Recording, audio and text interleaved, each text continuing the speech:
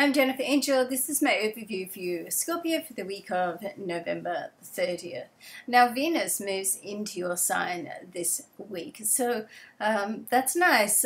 So, you know, Venus in Scorpio, well, it's pretty intense, it's passionate, can also mean that it's going to be good for money. Let's not forget that Venus is the love goddess, but she also governs money. So, um, you know, with her being in your sign. Uh, so, you know, during this time, she's going to have a reaction, uh, interactions with other planets, and that will sort of form, you know, what's going to happen. But uh, it's certainly a, it's certainly a time in your chart where love can uh, just you know be that little bit closer to your heart.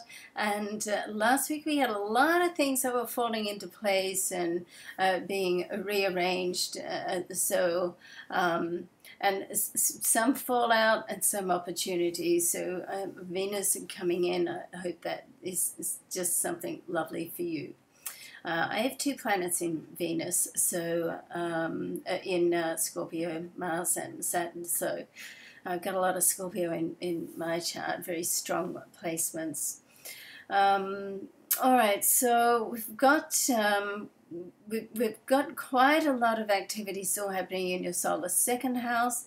Uh, right at the start of the week, with the Sun and uh, Saturn are conjunct now, and there's opportunities that can come through this week. There's at the end of the week, we've got the Sun in sextile with Saturn, which does suggest that an opportunity can come through around money, um, but there's also uh, it seems like there's almost like a little bit of a stop start happening. So whatever starts to come together, it may not finalize until you know later in the week or through next week. But the main thing that I see in your chart right now is that last week there are a lot of triggers to start getting things uh, happening.